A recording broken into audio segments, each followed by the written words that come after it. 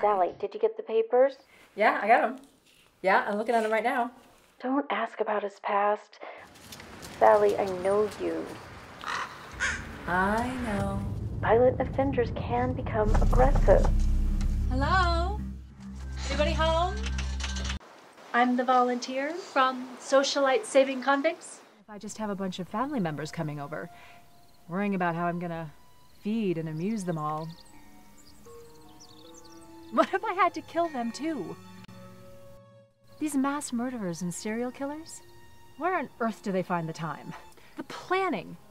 Do they use a spreadsheet or something? Is there an app? or is the technology still stuck at cutting letters out of the newspaper? They're sort of like a collection. You handle them, admire them, clean them. Guns kill people so fast, and they make it so convenient. You can change your mind halfway through strangling somebody and simply let go, and, well, they'd be angry, of course, but they'd be alive. I still find your story inspiring, though. Inspiring. Somehow I do, yes. What does it inspire you to do? Well, to kill someone. I'm toying with the idea.